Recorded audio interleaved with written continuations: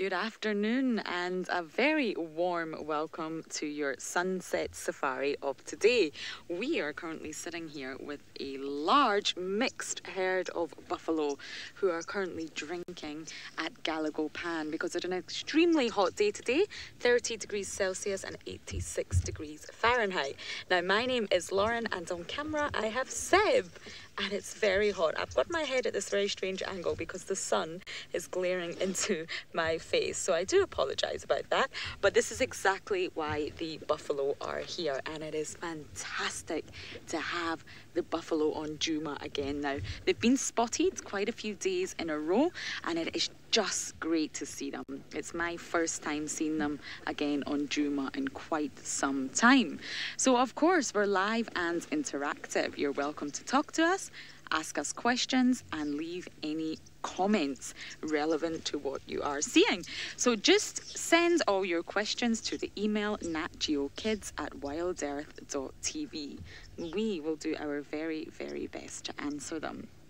Now, there's a lot of youngsters here. I'm going to try and see if Seb can show you one of the youngsters. There's one right ahead there. They often tend to stay hidden. They sort of hide amongst mummy. There you go. And you can see tiny, tiny little horns poking out of the top of the head. It's obviously much smaller, and of course, it's a different colour. It's a more browny, fawny colour, should we say. And I can see, I think, three youngsters at the minute. And I'm going to try and show you the difference between males and females because there's.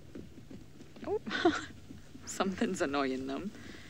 Where are you all going? Okay, so the males have very, very thick, large horns, and the horns meet in the middle. And this part is called a boss. Seb's going to give you, yeah, there we go. That's a male. So you can see, look how wide those horns are. It covers the whole entire sort of crown of his head. Now, the females don't have this, and this is because the males regularly clash heads with one another. So that is the main difference between males and females. Whereas the female, let's see if we can, there we go, has got much thinner and more sort of delicate horns. That horn boss on the top of her head is really not as thick. It doesn't quite meet in the middle as much. Of course, females do not regularly butt heads with one another. So here we've got males We've got females and we've got youngsters. So we would, of course, call this a breeding herd. Now, buffalo need water. They are water dependent. So now that it's winter here in South Africa, even though I've just told you it's really hot, it is winter. So, of course, it is winter, which means that there's not as many wat- like water points around. The buffaloes have to travel to reach the water. Oh, Lorena, I wonder if it hurts growing those horns. I really don't believe it does. So, just like as humans, we grow, we go through growth spurts from a baby to a toddler to a small child into an adult. So, our bones grow, our whole bodies grow. It will be the exact same for a buffalo. Oh, got an impala coming into the mix. Hello, this is a impala, a female completely alone from what I can see, who is just randomly walking on by the buffalo.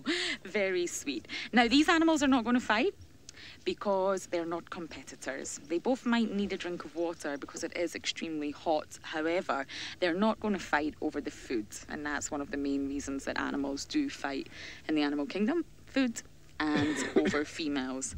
So impala and buffalo have absolutely no need to fear one another. They're not a threat to one another. They are, of course, just both herbivores utilising the same area.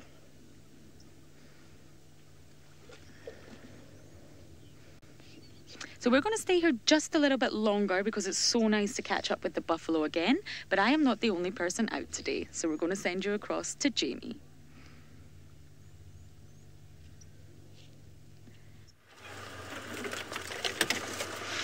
Afternoon, good afternoon, and welcome to the Sunset Safari. My name is Jamie, and this afternoon, Craig is on camera with me, and a special warm welcome to the Nat Geo kids joining us this afternoon. Look, I have a surprise for you. Ta da! Rayons. Hello, Rayons. We are back once again with the Styx Pride. Hello, it's all right. Why do you look a little bit nervy? Probably because they are oh, not in their normal territory. There's a herd of impala that just came running straight past them and none of them even realized they were there. what happened there, guys? That would have been a very nice snack if any of you had realized. So there we go. We found the Styx Pride this morning in this exact position, pretty much in this exact position. So they are still here. We actually had a very exciting morning this morning. Hosana stealing a kill from a hyena, which was certainly a degree of poetic justice given the number of kills that he's lost. That he certainly gave Pretty a very resounding surprise and a bit of a resounding slap as well, and immediately stole her kill as well as the surprise return of a pride of lions known as the Styx Pride. So remember, get your parents to send through queer questions or any questions that you would like answered, and you can do that on natgeokids at wildearth.tv. For all the rest of our viewers, hashtag Safari Live on Twitter or in the chat section of YouTube. Puma, I know. Puma says that they're so chuffed to see the Styx back in their traditional territory. I know. I mean, as far back as 2010, the Styx Pride was spending a lot of time around Djuma. And when I first started working here, the, the sort of the central half, right up until quarantine clearings, was belong or belonged at least partially to the Styx Pride. And when I very first, the very first lines I ever saw on my interview drive were the Styx lions, the three lionesses, and a tiny, tiny little fluffy cubs who unfortunately didn't make it. That was in June 2015. They unfortunately didn't make it. They didn't survive the Birmingham male takeover. Since then, we've seen them pushed further and further to the south until this year, where they've been almost nomadic since the loss of their oldest lioness. So it is really, really nice to see them. I haven't seen them in nearly two and a half years. All of these youngsters are new to me, except perhaps the eldest two.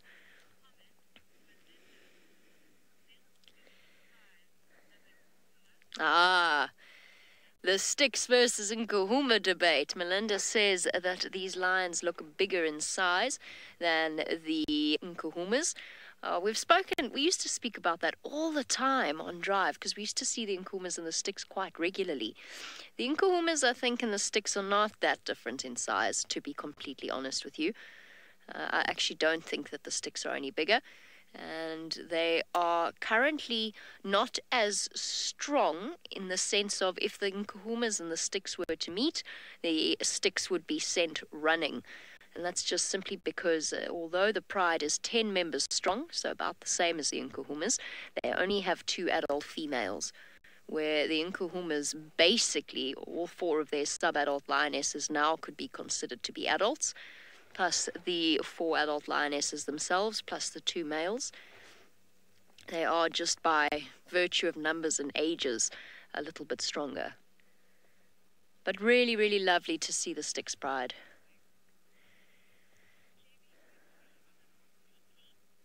Ah, Mrs. Lapwing would like to know where I am. Mrs. Lapwing, will you give me one second because I need to, you've reminded me I need to call this in. Our station, Styx Pride, still same position. Best access is off Twin Dams to the west, just to the south of Wahlberg's Junction and to the north of Jigga Jigga Road Junction.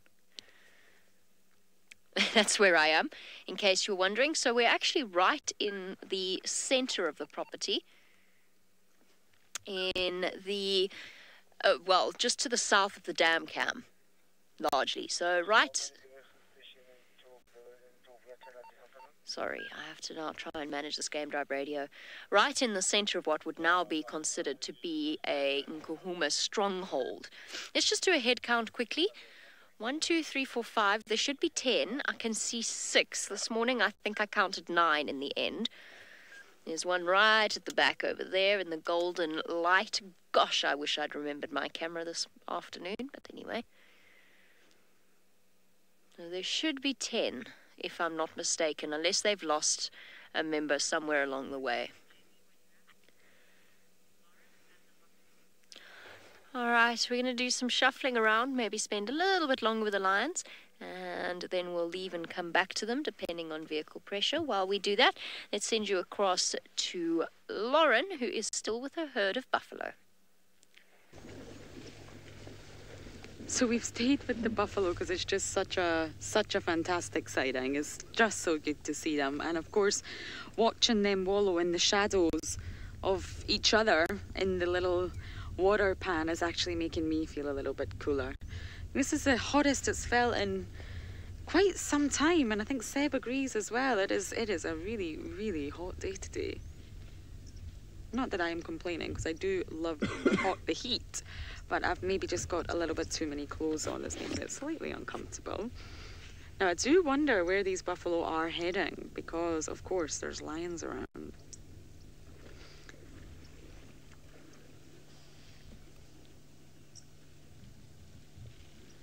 James is asking what is the main source of food for buffalo? Well, they are herbivores, so they do eat plant matter. They do eat vegetation, mainly grasses.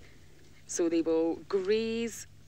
They are highly mobile, so they will walk from various points and just graze as they go, making their way from water point to water point. But they are obviously huge animals, very, very large animals with equipped with their own set of very large weapons on their heads. And of course, sticking together in a big group brings a lot of advantages to buffalo because they are the favourite food of the lions. And it does take quite a lot of cooperative effort for lions to take down a buffalo, but of course, there's lots of youngsters in the mix too. So, what the herd will do is normally try and keep the youngsters as much inside of the herd as possible to try and protect them from any predators that may try to approach them. And of course, on a day that is as hot like today, it's always worth checking the water points because I'm even thirsty, and of course, the animals will be too in this heat. what is that buffalo doing right at the edge here? It's actually bending down on its, I don't know, elbows. and you can see it's got an oxpecker on his back, a red belt. That's very sweet. I wonder why he feels the need to do that.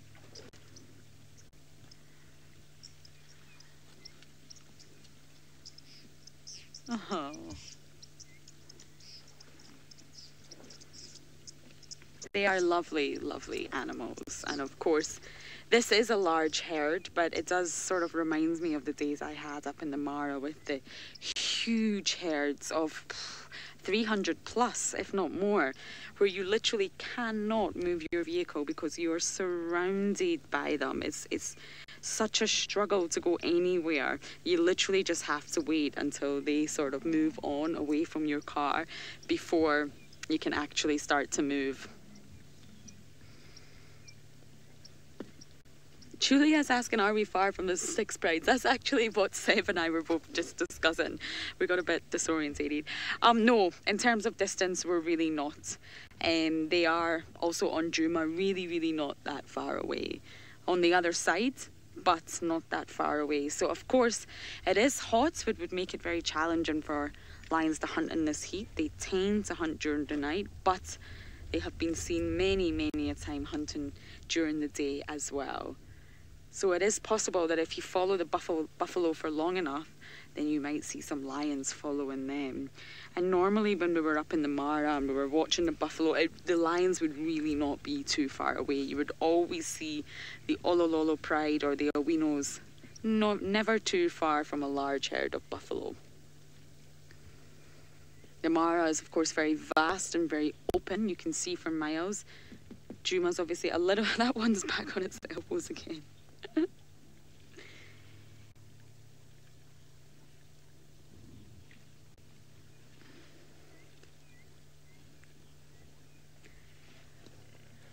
I wonder why that one actually goes down on its um, little elbows like that. It's very sweet. I've never actually seen that before. So I think QT is asking about the bovine TB that actually passes. Oh, Faith's telling me it again. So basically, there was a study that actually said um, in the Kruger Park, it was solely based on the Kruger, um, up to 80, percent of the lions carry bovine TB, which they call BTB for short. And obviously, it's a very slow progressing disease. Um, but the majority of the lions that carry it, they were obviously tested. All the lions, I think it was a blood sample, um, were carriers, but yet they appeared healthy. So they have obviously got this from buffalo It's from the bovines, but they appeared healthy. It wasn't that as they were seen to be affected by this disease, which led to a lot of questions as to how or why, how do they manage to sort of survive it? If you like. Um, so, yes, they can be infected if they do eat infected buffaloes and other animals, of course. It's not just buffaloes. So, I believe, I probably would need to check my figures, but I believe it's about 40% of the buffaloes around the Kruger in this study that were tested were actually positive for BTB. So it's very, very interesting. But yes, lions can contract it from infected buffalo, absolutely.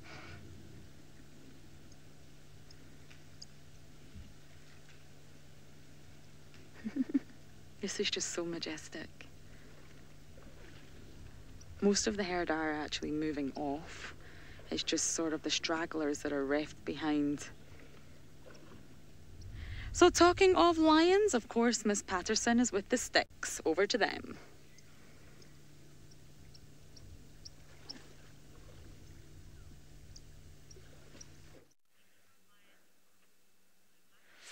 Speaking of lions, our lions are still lying about and potentially have caused a little bit of unrest amongst the impala and kudu population to the north of us.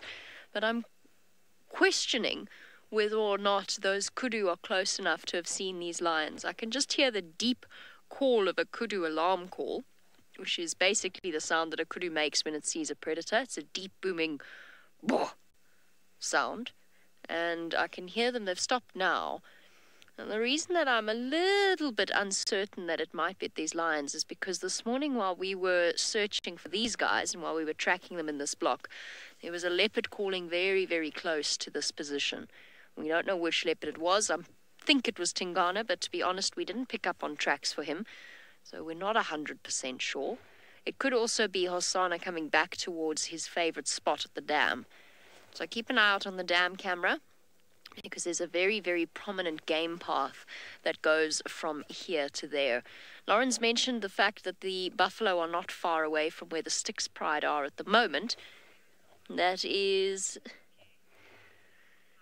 there, that is definitely a potential hunt situation. However, this pride only has two adult females, so it would be quite a tricky one for them to carry off unless it was a, a young buffalo. But we'll see where the night takes us. Of course, this morning took us in an unexpected direction. Many of you questioning whether or not Pretty is okay after her encounter with Hosanna. She is absolutely fine. I think she might have a scratch or two. Um, I don't even feel too sorry for her. Look, she did seem very proud of herself, so I did feel a little bit of pity this morning. But she had eaten a vast amount of that kill already. She, her belly was basically dragging on the ground. And I think it was more the fright more than anything else. Uh, Hosana capitalized on the element of surprise as he jumped out at her, and she dropped her kill in surprise because she wasn't sure what he was or what was going on. I mean, she didn't have time to process anything. And by the time she realized and he'd grabbed her kill, he was halfway up the tree. And I think the most chance of injury she had was when she bolted at the tree and basically ran straight into it in her attempt to get her kill back. So I think she's fine. I really do. Hyenas are phenomenally tough creatures. One on one, she would definitely beat Hosana, but that doesn't mean that he wouldn't be capable of doing an immense amount of damage himself. He's a very powerful animal. We tend to forget that because we just, you know, we've watched him grow up and he's our little boy, but he's not our little boy anymore. He's a good 65, 70 kilograms of pure muscle. And he's been honed by his little gap years or gap months in Londolozi. He knows exactly what he's doing. The Styx Pride, hmm, they have. Actually, I think now that I think about it, we've heard of the Styx killing more leopards than I think any of the other lion prides. That's not necessarily because they have a predilection for killing leopards. It just so happens that they're one of the most prominent and most most renowned prides in the, the Sabi Sand. So that might be why. But I know that they killed uh, Sibuyi's one cub. They killed Tumba's sibling, Tundi's son's sibling. They killed a wild dog with Brent. But still to this day, my favorite ever Styx sighting was the was the little tortoise that wasn't killed, just crawled under a lion. Megan wants to know how I'm able to tell the prides apart. Look, the makeup of the Styx is, is completely different from the Nkuhumas. I instinctively went with Styx this morning because I looked at how mangy they were. So I haven't seen the Styx in a while, so it was a process of quick elimination. They didn't look like the Torchwoods. I've seen photos of the Torchwoods. They didn't look like the Talamatis, certainly and I wouldn't have expected the Talamatis to venture this far south. The Styx have had a reputation for. Hello. That stare. The Styx have had a reputation for getting around the sands at the moment, and they've, they've covered in mange, which was one of the big giveaways. What have you seen? Is this maybe the kudu that was alarm calling? This lion's definitely spotted something. Not staring at us, it's staring back towards us.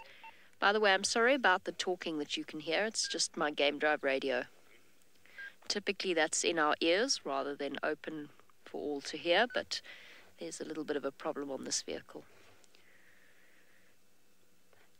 And then also, just looking at the age of the cubs, I know that the Nkuhumas don't have any cubs of under two years old, of which most of these youngsters are, or around two. I don't know what you're looking at.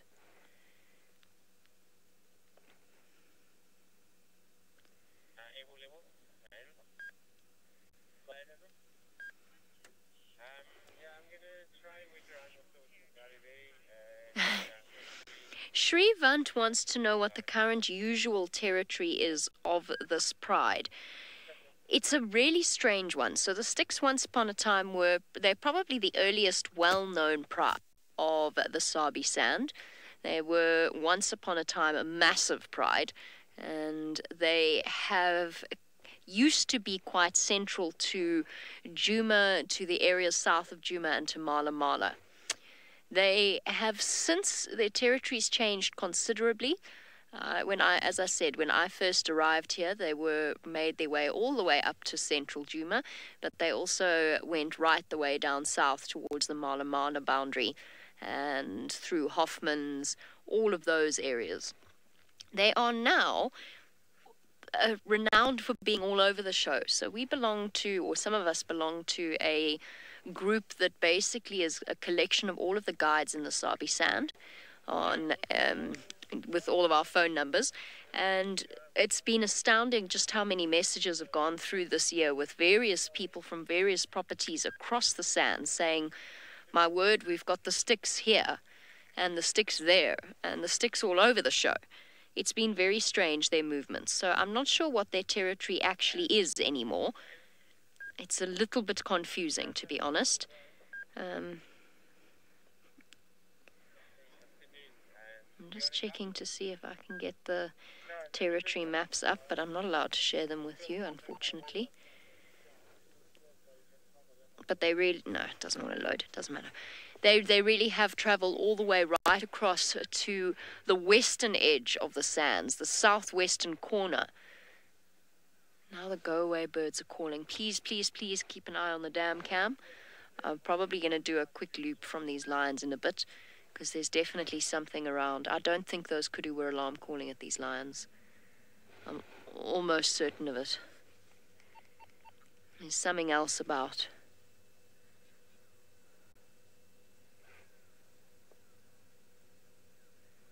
Oh, there's people coming. Should see the lions. Why it is that the Styx have been as nomadic as they have been is a strange one.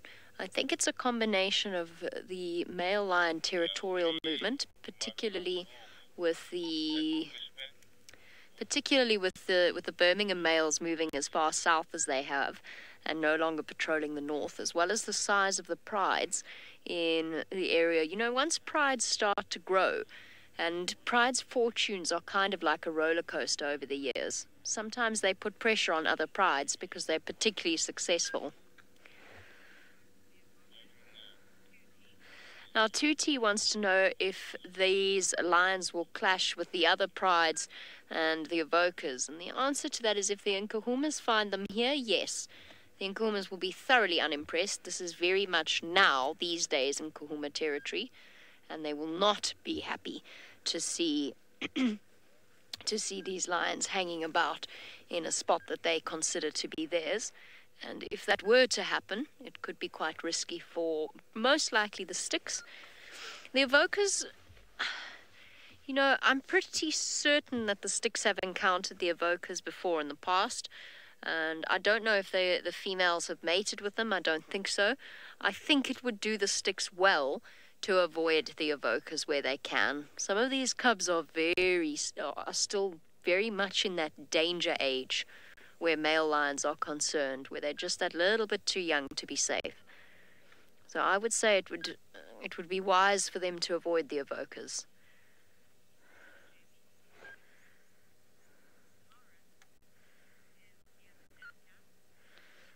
Alright, I mentioned uh, keeping an eye on the dam cam. Lauren's done a quick loop around that area. Let's see whether or not she's picked up on anything that side.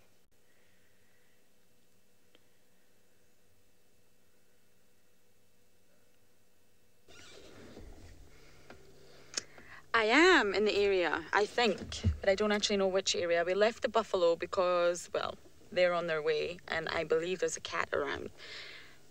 Faith, maybe you could ask Jamie exactly where she thinks it's coming from, because we're right next to the dam cam. We took our earpiece out. I don't hear any kudu alarming, which makes me think we could potentially be in the wrong direction. Hosanna's definitely around somewhere, most likely in a drainage because it's so hot and he loves these drainage lines. But if there is alarm calling we can't hear, then it's obviously not from this area. This is why the car is stationary. I do apologise. I just want to make sure I go the right way. There was a leopard sawn this morning that we were just not able to find tracks of, which is just amazing. Near the Wahlberg Junction. Aha! I know exactly where that is. So we're going to head there, which is actually where we were heading anyway, but we couldn't hear the alarm call, so I'll need to keep my ears open, if you like, if that's even possible, and see if anyone's around. I don't think I'm going to venture very far today away from the water points. Once again, without trying to repeat myself, it is really hot and all the animals especially when that sun starts to go down are going to come out for water so I think Galago Pan and Vuatila Pan are quite close to each other and I think it's a really really good area to keep your eye on especially because of the temperatures of today.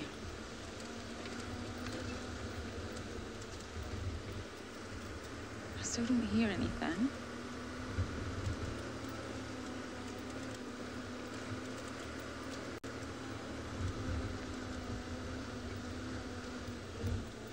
Curtis is asking how hot is it there? Well, it is 30 degrees Celsius, which is 86 degrees Fahrenheit. And believe it or not, this is winter. It is winter, definitely a lot better than a Scottish winter. And it is very cold in the morning. If you ever watch our sunrise safaris, we are frozen. We've got gloves and scarves and hats on. So it's very, very cold in the morning and in the evenings. But during the day, the sun pops out. And today is just, it is, it's almost feels like it's summer again, but it's not. Um, but it's extremely hot today for some reason. So this is the road that Jamie thinks the alarm calls are coming from. And from those who are maybe not sure what we're talking about, animals, especially some antelope species, they're sort of defense mechanism when they see a predator. Is not to run, it's not to flee, it's almost to fight. They will stand, they will look directly at the predator and they will bark, they will give this big, which means, I've seen you you can't come to me now. Your your game's up. I've seen you.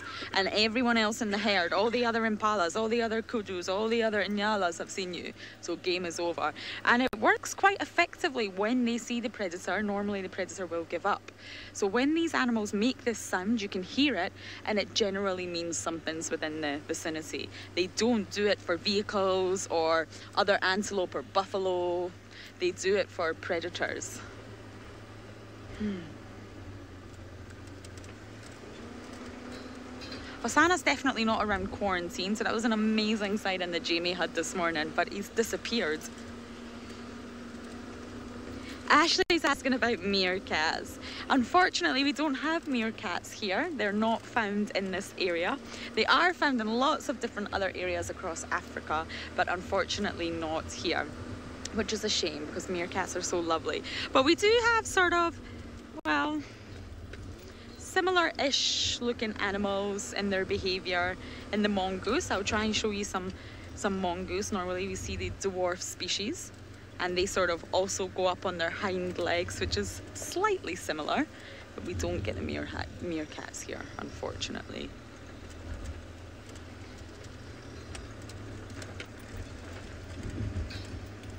Hmm. I think it's uh, my gut's telling me it's Hosana that they they'll be alarming it. Because this is this is quarantine now, our favorite area quarantine, and this is exactly where he was this morning. So he's probably slept out. There you go, Seb's going to give you a beautiful view of this clearing. He's probably slept the whole day to avoid the heat, and he could be on the move. Alrighty. Decision time.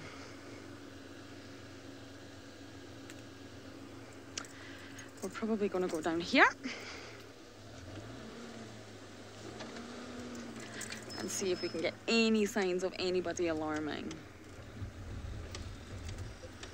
But of course, once these animals do alarm and they do bark, the predator normally does walk off. Alrighty, it looks like I'm not the only one bumbling now. We are going to send you back to Jamie, who's doing exactly the same.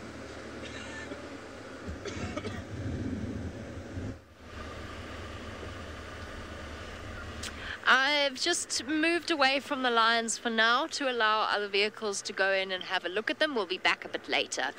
Uh, as soon as it gets time for them to start moving.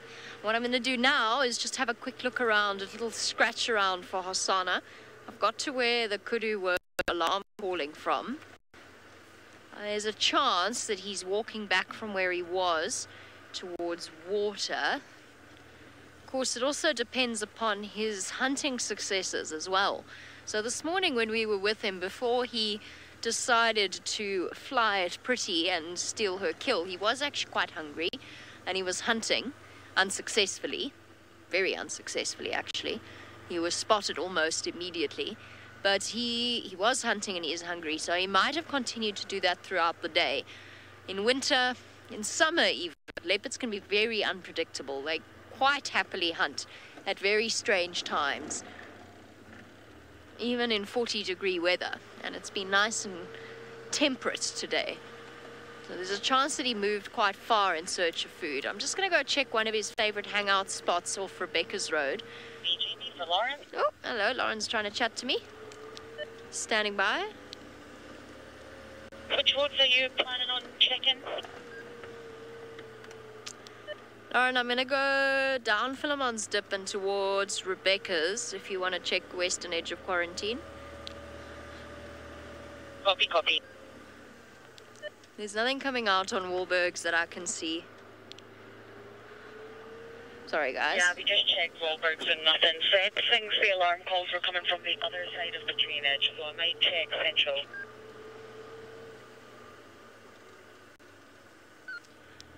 Okay, copy. They weren't. Um, I did see the kudu before I went into the lion sighting, but they might have moved.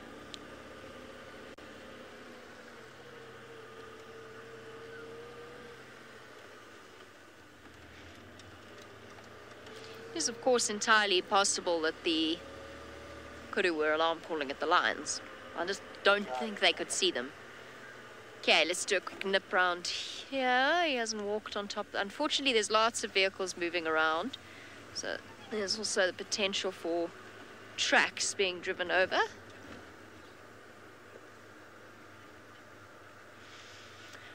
Kathy! Sorry. oh, there's Lauren. I was trying to say Kathy.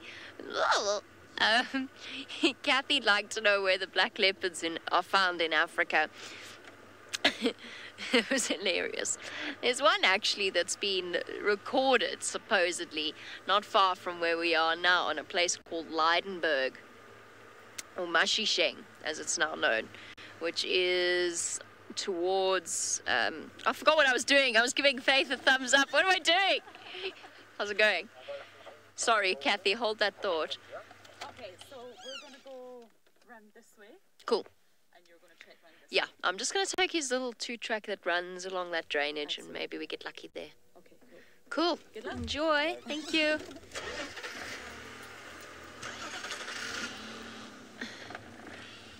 Right, black leopards, yeah. So what you'll find is black leopards are basically melanistic leopards. It's a genetic thing, it's a recessive gene. What you'll find is that, as you would predict, the gene is selected for in places where black is more uh, selected for. So that typically means more forested areas. That's why you find more black leopards in, say, India, for example, or most likely in the central forests of Africa. Unfortunately, those tend to also be areas most associated with a huge degree of human conflict. So I would say that there's probably more black leopards in those areas than we think. Black leopards have been seen pretty much all over Africa. At the moment, there's some in Kenya, or at least one that's been quite prominently seen in Kenya. But it's in you know it's possible for that gene to suddenly reveal itself anywhere, including Djuma, just in the same way as happened with the white lions at Ngala, which is close to Orpen Gate. But you'll find generally there's a slight skew in favor of more black leopards being found in more forested areas. I'm, there's tracks. Oh, there's a hyenas. Mm. That that black leopard in Lydenburg, I'm I'm not certain if it isn't an urban legend, although I've had many people swear to me that they've seen it. So I guess it's possible. Maybe there's camera trap photos. I'm about to, I'm, I imagine I'm about to get an angry message from someone in Lydenburg saying, but it's true. Or Mashishing. So it's possible.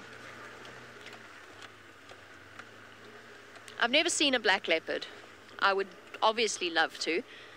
There's something that people find, and I've noticed it particularly since I've started working with Safari Live, is color aberrations get people talking. No, Ashley, I haven't seen Tumba recently. He, unlike Hosana, didn't just go on a, a little sojourn into the southwestern corner of the Sabi Sands. He went for good. And it appears he's moved in quite contentedly towards Singita side. So no, I haven't seen Tumba recently. I did see the pictures of him with half an ear missing. Such is life. Shame. And he had such gorgeous, big, beautiful ears. But he has lost half of one. Makes him look very cool, I guess, in a sort of a macho, bad boy kind of way. Never thought I'd ever say that about Tumba. There was something so innocent about his oversized ears and bottle green eyes. But now he's got a bad boy look to him. And he'd be absolutely fine without the top half of his ear. Probably was very painful, but he'll be fine.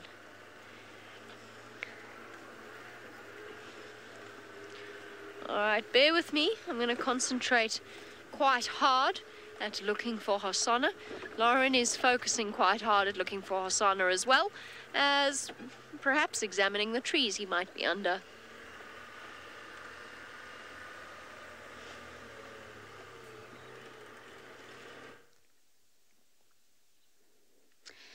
Yes, we are looking at the Marula. He was actually up this morning during that epic sighting. This is the one. He obviously raced up it after stealing poor Pretty's breakfast, I guess. And there's absolutely nothing, nothing that I can see remains of any sort of kill or carcass or anything, to be honest. Seb and I have been looking for a few minutes now and we really don't see a thing. So we're at the sort of very bottom of quarantine, if you like, and there's a drainage line right here. So it goes right down into a drainage. And my gut's telling me that Hosana is in there somewhere. There's no easy way for us to drive in and have a look, but I think he probably would have went down there.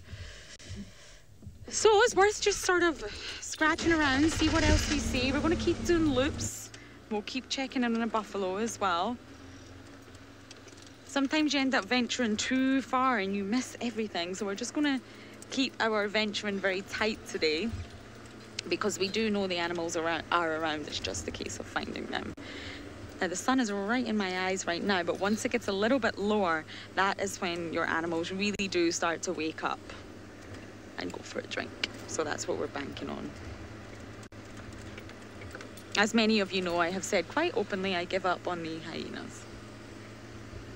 They were all far too busy this morning running around being hyenas to even think about being near the sort of communal den stroke hangout area.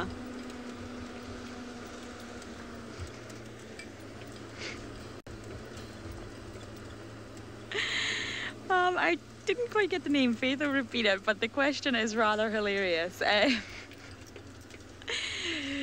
do Timon and Pumbaa live on the reserve? Happy feet. I thought I thought you said that happy feet. Um, well, Pumbaa does, I guess. Pumbaa definitely lives on the reserve. Uh, Timon, sadly, not. Timon is obviously a meerkat, and we don't get them here, but we do get warthogs. So I guess, yeah, Pumbaa does live on the reserve, and Oh, the Lion King movie is due to come out soon, one of Jamie's favourite topics.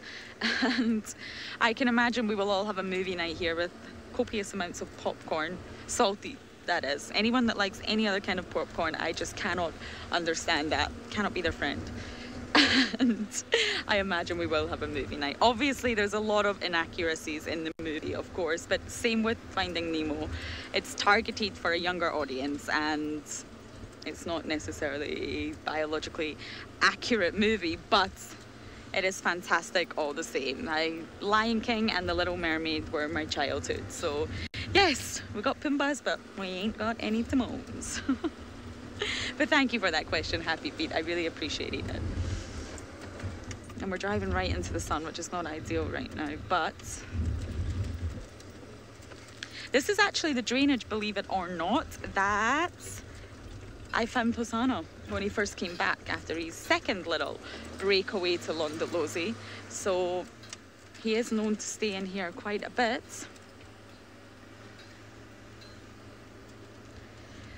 So of course, as you all know, Jamie is also bumbling. We're both on a mission, girl power. So we're gonna send you across to her for an update.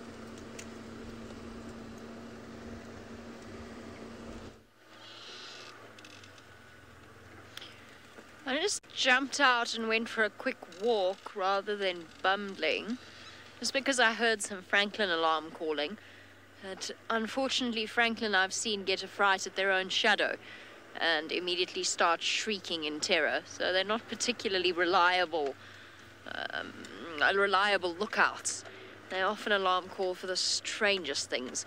I, I couldn't see anything. I went for a quick, quick walk in the drainage line. Nothing there. His... No, it's not. Where am I? Not yet. Soon. But not yet.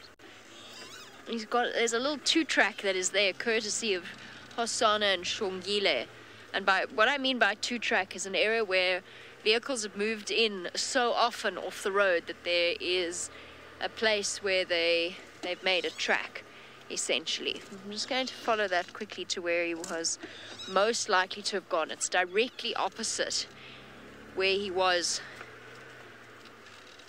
this morning.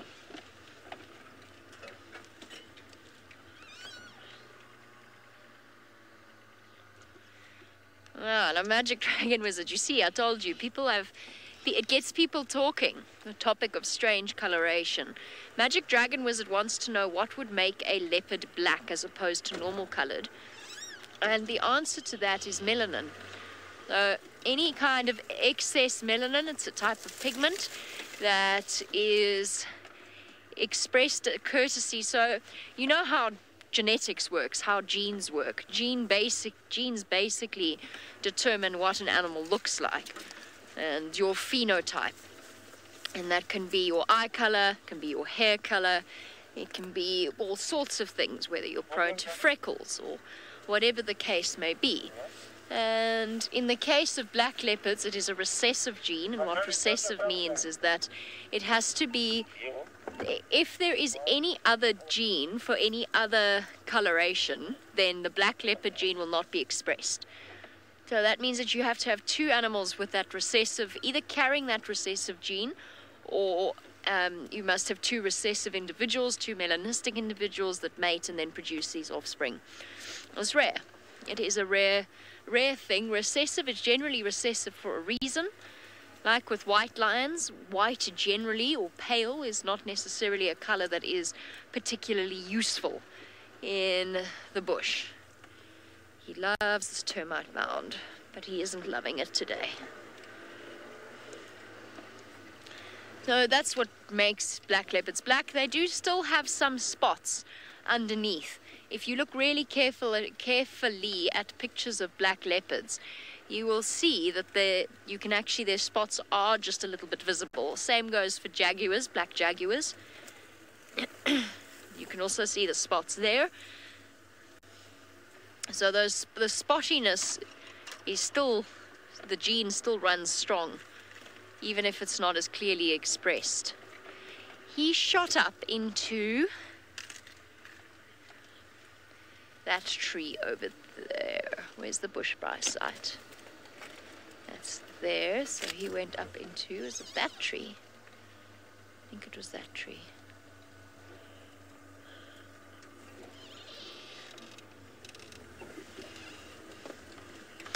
Ah, Umkar wants to know how soon we will get results from the DNA sample that I picked up of Hosana.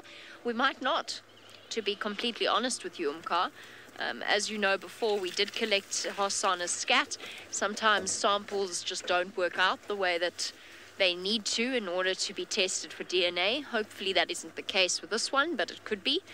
Mm, but it will take some time. It takes time for the DNA to be tested. It also, uh, you know, scientists don't necessarily release their results immediately to public. They may never result, release the results necessarily for complete public consumption, although we will definitely find out who Hosana's father is if we if that sample is successful, if they get other samples as well. Would be really interesting to know, wouldn't it? I'm pretty certain it's Tingana, but you can never be 100% sure.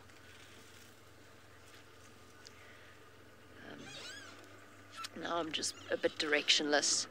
I'm gonna go back. Go back to the road. I should have just gone back to where he was and looked for his tracks. Sorry, Craig.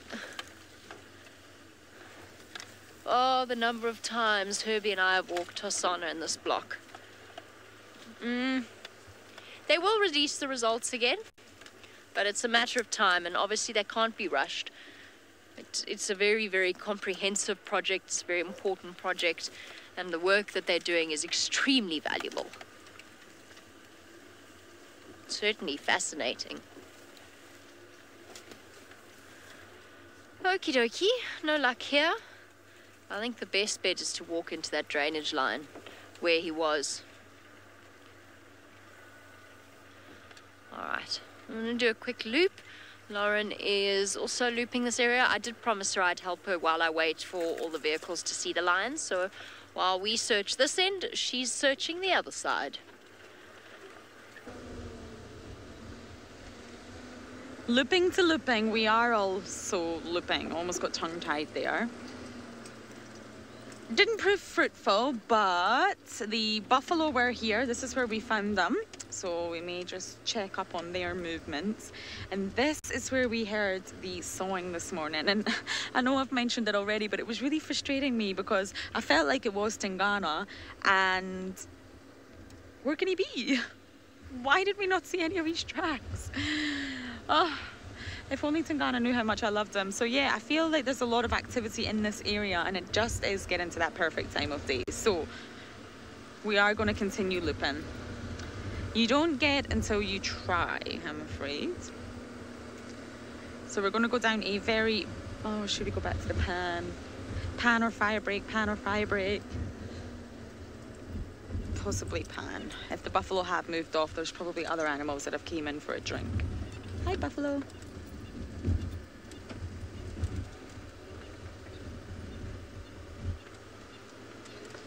Janet's asking about the male coalitions of lions and is there any other coalitions other Sorry, that bird is not happy. Oh, the buffalo are still here. We have a buffalo crossing. I'm just going to drive slowly. You don't want to upset a buffalo. Hello. You guys didn't go very far. Just want to give it some distance. Male buffaloes are known to be a tad on the grumpy side. Uh, male coalitions, that's correct. So it is the, the the Avocas are the main male coalition around here now. They've came and it looks like they are here to stay. They're obviously meeting with the Nkuhumas and they have really sort of made their territory and it's a large one. Now obviously the Birmingham boys were here before, but they have sort of up sticks and left and they are found much further south now. So yes, Janet, the Avocas are the main dominant male coalition around here now. But their territory, as I mentioned, is so large, they're not always found on Djuma. And of course, there's three of them, three magnificent males. And their territory will most likely hold or sort of overlap with different female pride territories. That's how it works with lions because they do mate with different prides. And just to give you sort of an example of what I'm talking about while we watch this buffalo, the dispute in the Mara with the Olololos and the River Prides, which was a really, really difficult thing to watch and witness. And, you know, we all, we're all a little bit shocked by that, shall we say the Kichwa, males were present and they are also very dominant, strong males out in the Mara. And they did nothing. They, they, they growled and they snarled, but they didn't get involved. And most likely, as crazy as it sounds, they are actually mating with both prides.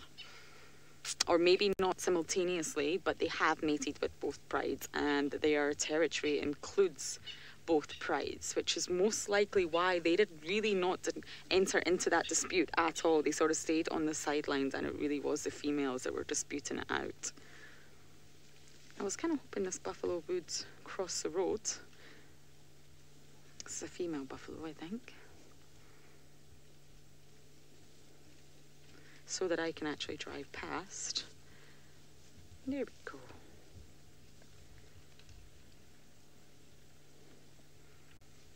Wonderful. So it looks like they really haven't left the pan at all. I thought they would have travelled off a little bit further than that, but we are going to go very slowly past them. And I'm going to try the other side of the drainage line to see if there was potentially any alarm calls coming from there.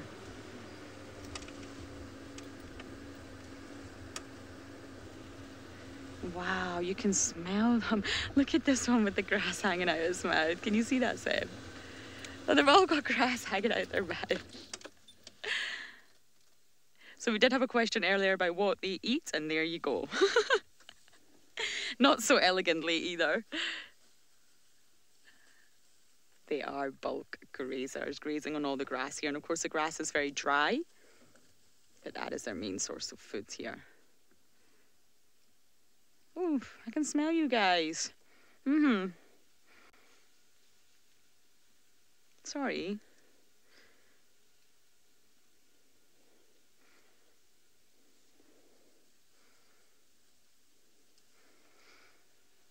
So we're going to continue on forward and let the buffalo be, I think. We're going to encounter a lot more of them along the roads because they're surrounding us. I really thought they would have moved a little bit further on from the pan by now, but they haven't. I just know that someone's going to come and drink. And of course, it's rehearsal tonight, which means all the animals will be out. Michael's asking, can buffalo interbreed with cows? No, they cannot. Oh, okay, we've got a major roadblock here now. Definitely, definitely not going anywhere for a while. No, Michael, they cannot breed with cows. And all along the road from here to Rotella Dam, you can see their their their dung, if you like. It's absolutely everywhere. So the buffaloes have obviously been travelling all day. And of course, leaving evidence of themselves behind. Now, I'm sure if I if I did drive right up to them, they would actually move off the road. However, I don't want to to scare them or upset them in any way. Now, they are actually said to drink up to 35 litres of water at a time in mere minutes. 35 litres, can you imagine that? So, they are heavily water dependent. They'll take in a large volume of water at a time. So, they don't need to sort of drink all throughout the day, but they do need regular access to it. 35 litres is just absolutely incredible.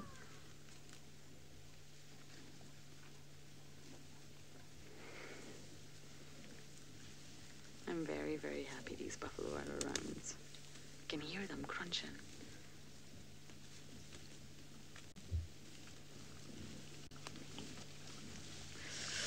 Rob is asking a very good question. Will a buffalo charge a vehicle? And ultimately, I guess it is possible. Yes, it has been known, uh, mainly by the males, the older males that we called Daga boys and daga is basically a Zulu word for mud. So it's the sort of older males that are normally said to be past their reproductive peak, around 10 years old on average. And they're normally sore, they're normally a lot older, and they spend a lot of time wallowing in the mud. And this is probably to soothe their skin and their wounds and sort of itch off all those parasites. And that's where the name Daga Boys actually comes from. Now, you can normally tell a Daga boy, and these are the ones that are said to be very, very aggressive. They're probably older and they've just got a bit of a temperament. So they are said to charge vehicles, and it has happened. There is lots of evidence of it without reason, if that makes sense. You know, they're just said to approach a vehicle and just get very, very angry. So you do have to be careful. But with a herd like this, it's a mixed herd. We're keeping our distance. I'm not driving my car. Um, there's males and females, there's young. There's not any imminent threat at the moment to us. But yes, the older buffalo have been said to be a little bit grumpy, shall we say, in charge vehicles. So you do have to be very, very careful of them, of course.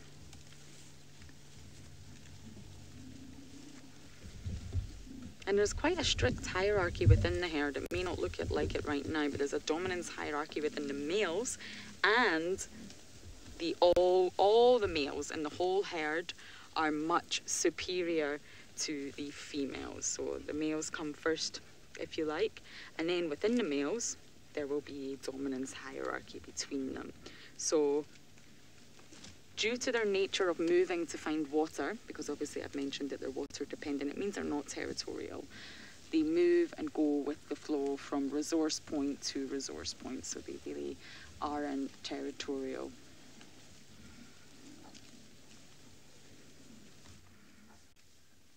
Maxwell's asking why are the buffalo not eating the green stuff, I think?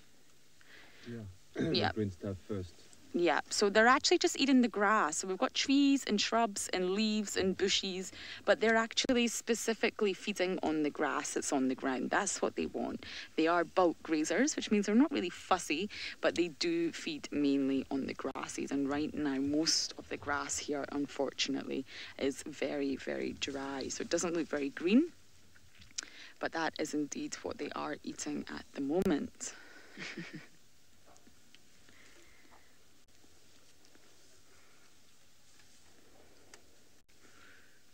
It is just so wonderful to see them again, and the sun's really starting to go down behind us now, which is casting this sort of golden glow over all the buffalo here.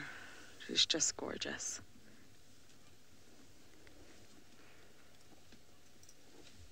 So we just want to say a big thank you to everyone for joining this Nat Geo Kids Drive. It has been fantastic spending time with the buffalo. Please do join us again, and until then, we'll see you later.